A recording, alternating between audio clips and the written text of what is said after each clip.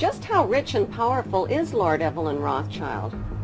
Historically, the Rothschild family wealth was hidden in underground vaults. The Rothschilds' secret financial records were never audited and never accounted for.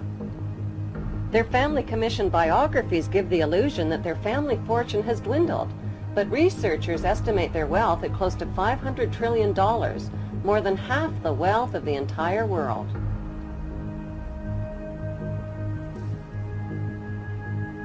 Besides their many castles, palace mansions, wineries, racehorses, and exotic resorts, the Rothschilds bought Reuters in the 1800s.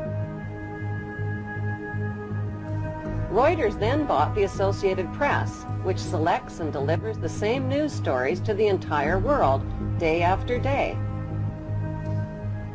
They have controlling interest in three major television networks and easily avoid media attention since they own it. Until recently, they owned and operated England's Royal Mint and continue to be the gold agent for the Bank of England, which they also direct. They control the LBMA, London Bullion Market Association, where 30 to 42 million ounces of gold worth over $11 billion are traded daily.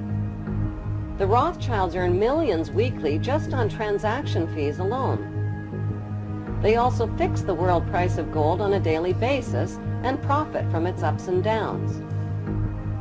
Over the centuries, the Rothschilds have amassed trillions of dollars worth of gold bullion in their subterranean vaults and have cornered the world's gold supply. They own controlling interest in the world's largest oil company, Royal Dutch Shell.